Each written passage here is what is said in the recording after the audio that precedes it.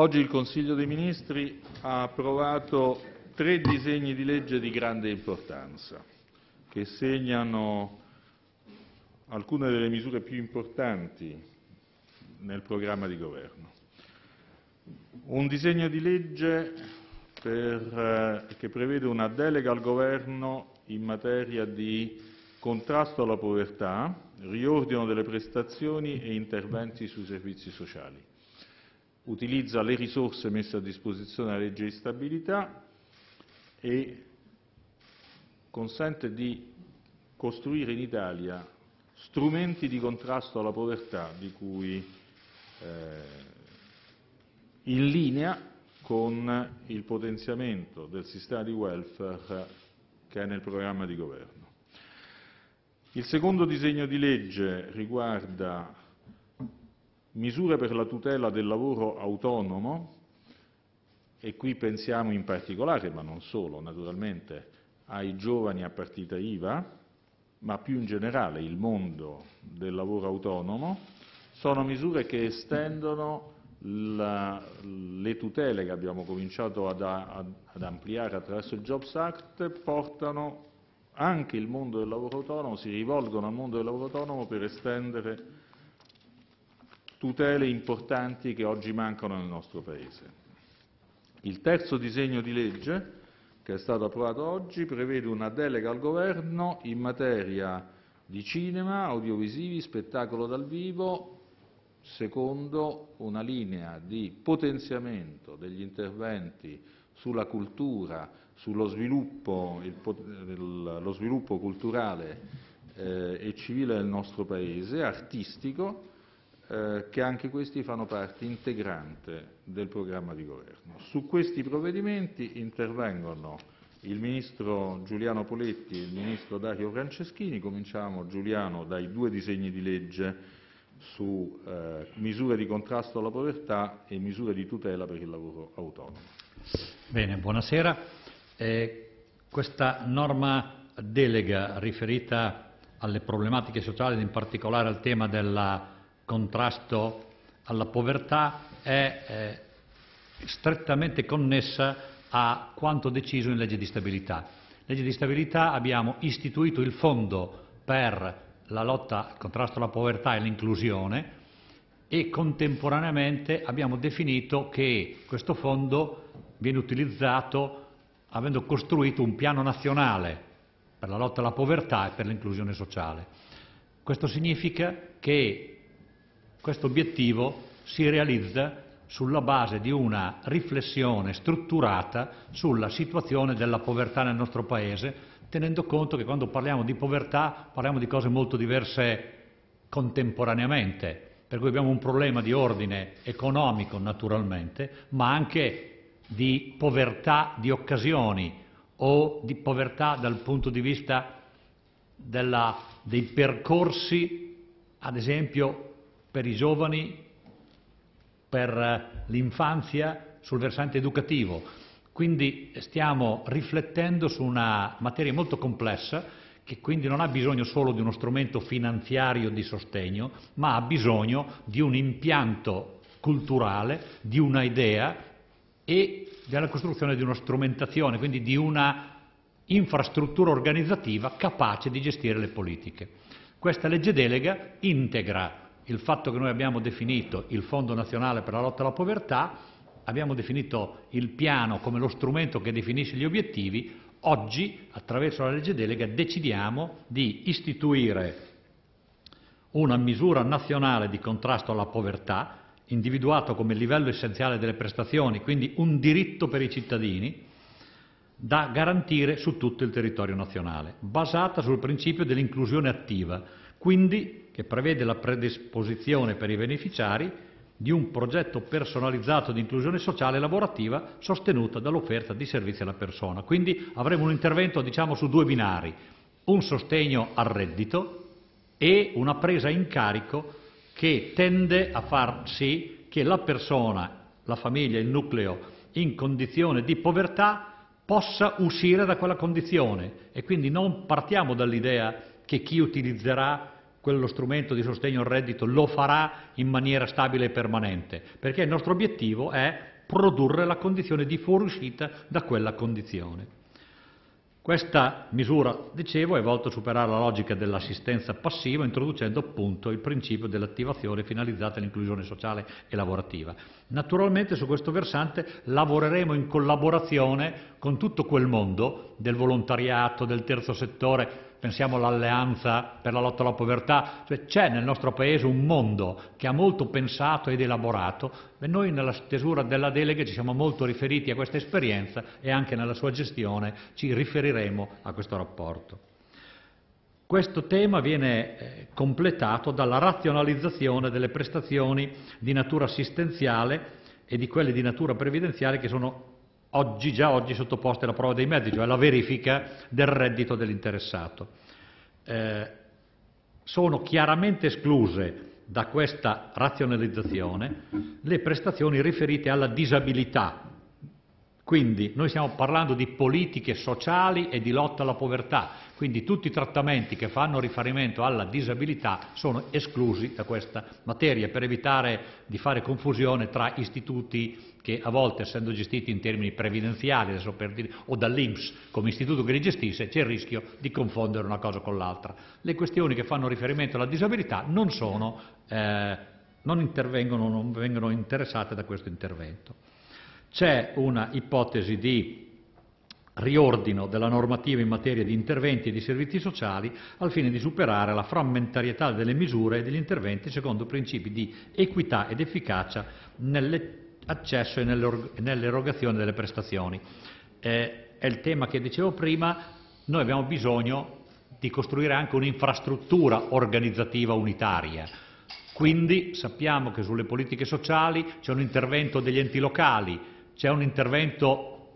di varie forme, la dimensione europea, piani nazionali e piani regionali, quindi costruiremo una strumentazione ordinata, una governance trasparente che consentirà ad ogni soggetto di sapere in quale parte, punto del processo è in grado di intervenire. Noi sappiamo che questo sforzo avrà un buon risultato se riusciremo a mobilitare le risorse delle comunità locali. Noi non possiamo pensare di immaginare una soluzione di un tema così complesso come la lotta alla povertà senza avere tra virgolette, a bordo la nostra società, che vuol dire l'associazionismo, il volontariato, ma vuol dire anche tutti gli uffici dello Stato periferici. Faccio un esempio banale. Una larga parte dei problemi di povertà dipendono dalla mancanza di lavoro.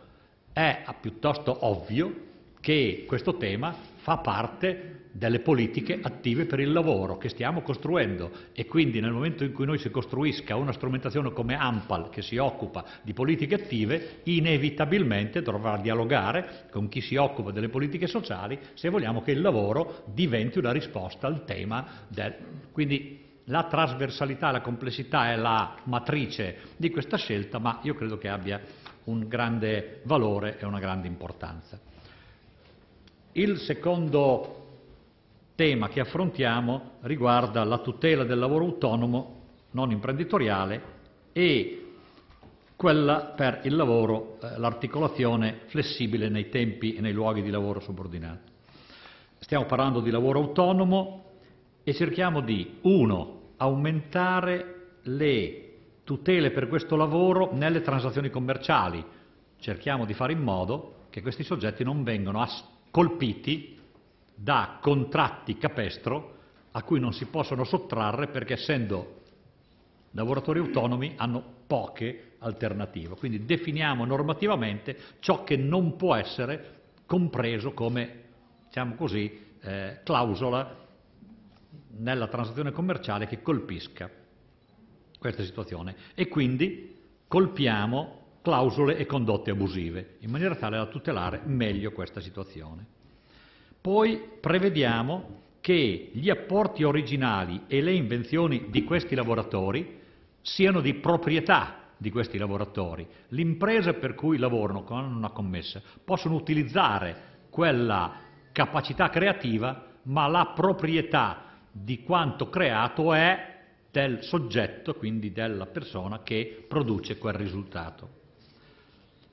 Abbiamo deciso di definire in termini puntuali 10.000 euro e 5.000 euro la deducibilità delle spese di formazione, di accesso alla formazione permanente e quindi tutti gli strumenti che aiutano queste professioni a qualificarsi e a rendersi più forti e autonome, c'è un elemento che io credo di particolare interesse, che è l'introduzione del fatto che sono interamente deducibili gli oneri sostenuti per la garanzia contro il mancato pagamento delle prestazioni di lavoro autonomo fornite da forme assicurative o di solidarietà. Questo credo vada sottolineato perché c'è un dato, eh, un lavoratore autonomo, il rischio più grande che ha è che il suo cliente non gli paghi una fattura. Eh, quindi abbiamo bisogno di spingere anche il mercato assicurativo a costruire uno strumento di tutela. Il modo per aiutare il mercato assicurativo o la scelta di farlo in termini mutualistici, cioè tra, di, tra i componenti della categoria, è quella di dire che chi investe in una forma di assicurazione contro il rischio di non essere pagato può dedurre questo importo sul piano fiscale. Quindi io considero questo un elemento interessante di attenzione ad una caratteristica peculiare della rischiosità di quel tipo di attività. Poi naturalmente viene promosso l'accesso alle informazioni sul mercato sui servizi personalizzati di orientamento, riqualificazione e ricollocazione, quindi prevediamo che i centri per l'impiego abbiano uno sportello specifico per questo tipo di professioni. Analogamente informazioni e accesso agli appalti pubblici, anche qui abbiamo eh, promosso la condizione perché questo possa avvenire, analogamente intorno al tema dei piani operativi regionali e nazionali, quindi le risorse comunitarie e la loro utilizzabilità, quindi la partecipazione di queste persone rispetto a queste attività. Direi che questa parte l'abbiamo sostanzialmente conclusa. Ah no, abbiamo indennità di maternità, congedi parentali, tutela della gravidanza, malattia e infortunio. Eh, abbiamo migliorato sostanzialmente questo tipo di situazioni, da una parte eliminando alcune previsioni, per cui ad esempio eh, l'indennità di maternità prevedeva l'astensione dal lavoro, è chiaro che per un professionista prevedere l'astensione dal lavoro è, come dire, controindicato rispetto alla natura di questa attività. Eh, analogamente si sono migliorate tutte le tutele che fanno riferimento appunto a gravidanza, malattia e infortunio. Eh, detto questo, possiamo passare al lavoro agile. Questa è la seconda parte di questo decreto e fa riferimento ad una discussione che peraltro è stata molto presente anche sulla stampa in questo periodo, cioè la trasformazione del lavoro, il cambiamento nel lavoro. Qui siamo di fronte ad una situazione che è già presente di fatto in una serie di realtà che però si scontra con problemi e normative che non l'avevano prevista. Quindi questa legge prevede il lavoro agile come una modalità flessibile di esecuzione del rapporto di lavoro subordinato, quindi non stiamo cambiando e inventando un'altra tipologia contrattuale, stiamo solo dicendo che è una nuova modalità di esecuzione. Il lavoro agile consiste in la prestazione del lavoro subordinato che si svolge con modalità diverse. L'esecuzione delle prestazioni lavorative in parte all'interno dei locali aziendali e in parte all'esterno, entro i soli limiti della durata massima dell'orario di lavoro giornaliero e settimanale derivanti dalla legge. C'è la possibilità di utilizzare strumenti tecnologici per lo svolgimento dell'attività lavorativa, l'assenza di una postazione fissa durante i periodi di lavoro svolti all'esterno nei locali aziendali. Quindi qui abbiamo cercato di cominciare a definire di cosa stiamo parlando, dall'altro lato abbiamo affrontato il tema eh, del fatto che c'è una responsabilità del datore di lavoro sulla sicurezza e il buon funzionamento degli strumenti tecnologici che vengono assegnati al lavoratore e, e che ci sono delle tutele per questo lavoratore che non vengono interrotte dal fatto che è un lavoratore, diciamo così, che ha, accetta, conviene con il suo datore di lavoro di configurare il suo lavoro come lavoro agile. Ad esempio, gli incentivi di carattere fiscale e contributivo eventualmente riconosciuti in relazione agli incrementi di produttività del lavoro subordinato sono applicabili anche al lavoratore agile, che quindi non è fisicamente sempre sistematicamente in quel luogo.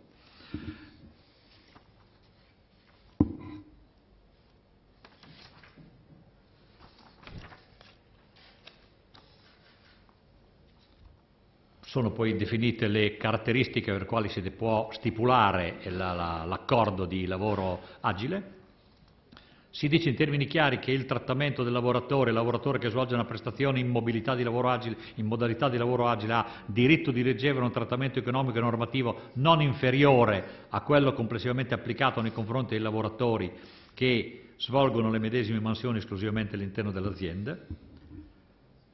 abbiamo affrontato il tema della sicurezza sul lavoro, perché questo è uno dei problemi più seri che avevamo precedentemente, perché l'assicurazione sul lavoro era collegata alla presenza sul luogo di lavoro e quindi abbiamo costruito, anche insieme ad INAIL, una modalità assicurativa che garantisce la copertura assicurativa anche quando il lavoratore opera in condizione diversa dal sito eh, o dal luogo di lavoro classico. E abbiamo detto che i contratti collettivi possono introdurre ulteriori previsioni finalizzate ad agevolare i lavoratori e le imprese che intendono utilizzare la modalità di lavoro agile. Naturalmente questo non è tutto ciò che farà riferimento alle nuove modalità di lavoro perché questo è un mondo che cambia in termini assolutamente rapidi, ma è un primo significativo sforzo di collegare al Jobs Act e quindi alle norme generali di regolazione del lavoro che abbiamo fatto una parte riferita al lavoro autonomo ed una parte riferita al lavoro agile. Io credo che sia una parte di completamento molto importante perché fa riferimento ad un'area molto larga di giovani che si avvicinano alla professione, al lavoro, all'opportunità di mettere in gioco la propria capacità, la propria competenza, investendola direttamente nel proprio lavoro. Quindi il fatto che ci sia una legge che cerca di metterli nella migliore delle condizioni per approcciare questa opportunità, io credo che sia una buona risposta da questo punto di vista. Grazie Giuliano. Dario, la, il disegno di legge sul cinema e lo spettacolo. Brevemente il disegno di legge eh, sul cinema è un provvedimento che il mondo del cinema aspetta da più di qualche anno, forse qualche decennio, che interviene in modo organico, quindi non parliamo di correttivi, ma parliamo della riscrittura complessiva di una disciplina nuova di tutto il settore del cinema e dell'audiovisivo che per la prima volta peraltro vengono eh, affrontati da un impianto normativo insieme, mentre le precedenti norme, non parlo solo della legge Andreotti del 49, ma anche le norme successive, non avevano ancora di fronte questa integrazione sempre più forte e inevitabile tra cinema e audiovisivo. Eh, l'intervento è un intervento che aumenta consistentemente le risorse, un grandissimo passo avanti, ed è un intervento che oltre ad aumentare le risorse innova profondamente le regole, avvicinando l'Italia, sapete chi si è occupato di cinema lo sa, avvicinando l'Italia ad un modello che non è il modello francese, noi riteniamo che sia più evoluto rispetto al modello francese, forse altro perché stiamo lavorando adesso su un impianto normativo nuovo, ma che introduce alcuni principi importanti eh, che cambiano profondamente il sistema e che ruotano attorno al principio che noi chiediamo una parte delle entrate eh, erariali che derivano dall'IVE e dall'IRES che pagano i contenitori, e quindi le televisioni, i provider telefonici, eh, i distributori cinematografici, cioè tutte, tutti coloro che utilizzano i contenuti a eh, sostenere economicamente l'intervento dello Stato a favore del cinema. Eh, per questo viene creato un unico fondo, fino ad oggi i contributi al cinema erano divisi in due parti, una parte attraverso il FUS, il Fondo Unico per lo Spettacolo, e una parte attraverso il tax credit, che abbiamo peraltro incrementato eh, alla fine del 2015 eh, e nella legge di stabilità 2016 per il successo importante che ha avuto in particolare il tax credit internazionale. Qui li unifichiamo in un nuovo fondo unico che viene appunto alimentato da una percentuale, eh, il 12% delle entrate del gettito IRES e IVA dei settori che ho citato prima, quindi non è una, una, un prelievo di scopo o una tassa aggiuntiva, semplicemente decidiamo di uscire dalla discrezionalità con cui ogni anno i governi determinavano l'ammontare del fusto del tax credit e quindi diciamo, il mondo del cinema non poteva mai sapere con chiarezza su quali risorse fare affidamento fino all'approvazione definitiva della legge di stabilità, quindi non, non, non potendo programmare. In questo caso lo ancoriamo ad un riferimento preciso che è il, eh, il 12% delle entrate fiscali che derivano appunto da eh, um, televisioni, provider telefonici e eh, distributori cinematografici, comunque non andando sotto l'importo anno di 400 milioni. E quindi parliamo di un aumento di 150 milioni, dato che sino ad oggi la somma delle varie voci tax credit e FUS portava a 250 milioni, dopo gli aumenti consistenti che ha portato il governo Renzi, quindi fino a due anni fa parlavamo complessivamente di 210 milioni. Noi siamo cresciuti sino a 250 milioni, oggi con questo disegno di legge proponiamo di passare a 400 milioni, in un fondo unico nel quale scompare una cosa molto discussa nel, mm, negli anni anche, dal, anche da coloro che non si occupano di cinema, scompare ogni scelta discrezionale, non ci sarà più nessuna commissione che valuta l'interesse culturale o meno di un film, che è una norma che creava grandi, insomma, grandi discrezionalità per quanto le commissioni fossero commissioni imparziali o fatte da esperti, comunque introducevano un elemento in cui lo Stato decideva quale film era di interesse culturale e quale no. Il meccanismo diventa tutto automatico, quindi tutto tax credit, sei tipi diversi di tax credit, li troverete nel comunicato, non li elenco, per la distribuzione, per la, per la produzione, eh, eccetera, e eh, eh, il, meccanismo diventa unicamente un meccanismo automatico, tranne il 15% del fondo, che è una quota nella quale resta un criterio selettivo, non sarà una commissione ma saranno alcuni esperti di grandissima fama internazionale a decidere, ma quel 15% è destinato unicamente alle opere prime, agli under 35, eh, alle, alle, alle start-up nel settore del cinema e alle, e alle, sale piccole, quelle particolarmente disagiate. Ma il, il, il, tutto il resto passa attraverso un meccanismo automatico di tax credit. E prevediamo l'introduzione di un eh, fondo di garanzia come quello per le piccole e medie imprese e per le imprese e soprattutto prevediamo un grande investimento per le sale cinematografiche. Uno dei problemi del cinema italiano è che si è impoverita fortemente la presenza di sale cinematografiche nel nostro Paese, nei centri storici e nelle periferie urbane, i multisala non hanno la stessa funzione che hanno le sale storiche, che un, uh, un, uh, hanno un valore sociale e, ha, e, offrono anche spesso un tipo di, di, cinema più di qualità che non è lo stesso esattamente che viene offerto nei grandi multisala. Quindi noi prevediamo una serie di interventi per favorire eh, la, eh, il recupero e la eh, creazione di nuove sale attraverso delle misure di eh, vincolo eh, per cinema storici, mh, teatri e librerie storiche, abbiamo incluso in un provvedimento sul cinema anche queste due categorie, non sto parlando di un vincolo automatico, ma parliamo della possibilità di introdurre un vincolo che sostanzialmente diventa un vincolo di destinazione per sale che hanno determinate tipologie, per il mantenimento di quelle sale. Prevediamo eh, un eh, una parte di questi 400 milioni, una parte consistente, sarà dedicata a un intervento triennale 2017, 2018 e 2019 per le sale storiche e per la creazione di nuove sale, per interventi di ristrutturazione e di ampliamento, per i quali prevediamo anche eh, la possibilità di eh, avere eh, forme di intervento urbanistico agevolate, facilitate, perché molto spesso investitori stranieri si sono fermati rispetto alla possibilità nel nostro Paese, anche investitori italiani, di eh, trasformare cinema storici perché incappavano in una serie di, di vincoli eh, complicati. Eh, in, nel provvedimento infine c'è una delega per il codice dello spettacolo, eh, per questo nel titolo troverete anche spettacolo, ma la parte spettacolo è unicamente una delega, e una seconda delega di grande importanza è che prevediamo che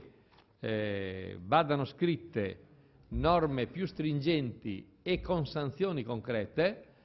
per gli obblighi di trasmissione e di investimento da parte del sistema radiotelevisivo. Oggi quelle norme ci sono,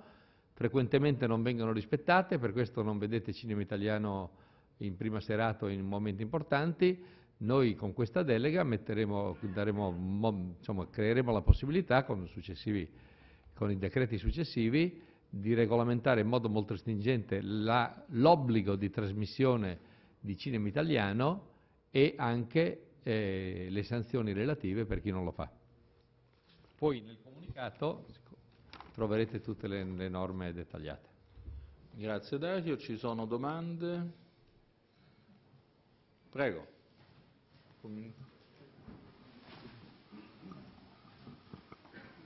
Buonasera, Livia Michilli, Sky TG24. Volevo chiedere al Ministro Franceschini e al Sottosegretario De Vincenti eh, a che punto è l'indagine interna a Palazzo Chigi sulla situazione delle statue coperte se è possibile una previsione dei tempi, ore, giorni, settimane, considerando che ci sono delle interrogazioni parlamentari anche al proposito. Grazie. Giorni? Si stanno chiarendo le cose. Questione di pochi giorni.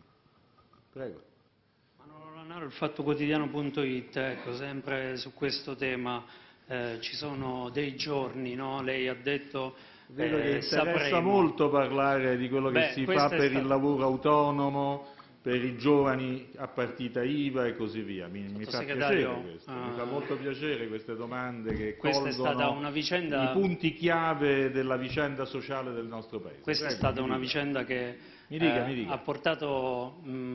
l'Italia diciamo, sotto la lente di ingrandimento di tutti i media internazionali. Non stiamo chiedendo non stiamo chiedendo certo. insomma, cose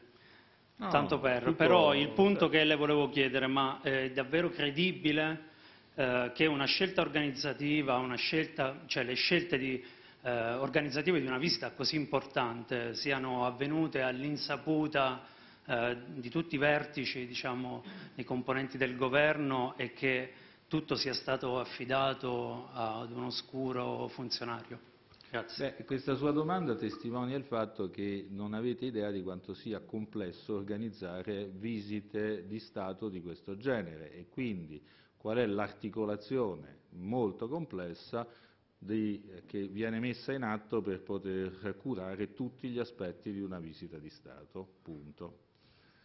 Ci sono domande sui tre disegni di legge che oggi il Consiglio dei Ministri ha approvato? Prego. Silvia Gasparetto dell'ANSA, una domanda per il Ministro Poletti. Se ci può indicare la platea a cui si rivolgerà questo nuovo strumento eh, di lotta alla povertà e se, saranno, se, ci saranno distinzioni di cittadinanza solo italiani, stranieri che stranieri? Allora, sulla platea naturalmente noi oggi ragioniamo sulle risorse attualmente disponibili previste in legge di stabilità, quindi noi riflettiamo su un dato che sono eh, 280.000 famiglie, 550.000 bambini, quasi 1 milione e 150.000 persone. Quindi questo è complessivamente ciò che è eh, prevedibile o previsto in ragione delle risorse attualmente disponibili. Naturalmente sulle tipologie di intervento stiamo scrivendo un decreto per l'utilizzazione delle risorse, quindi nel decreto puntualizzeremo tutti i soggetti che hanno titolo, non titolo. Teniamo conto che quando si interviene su queste materie dobbiamo rispettare anche le norme europee che definiscono evidentemente dei limiti di discriminazione o altro, quindi faremo le nostre scelte dal punto di vista delle priorità ma non possiamo naturalmente, io credo che non dobbiamo andare contro norme generali che definiscono la natura degli interventi nell'ambito comunitario. Altre domande? Bene, allora aggiungo solo che eh, nel, in conclusione poi il Consiglio dei Ministri ha anche proceduto a completare la squadra dei sottosegretari e che nel comunicato stampa che sta per a poco per essere pubblicato troverete nomi e ministeri di riferimento. Grazie.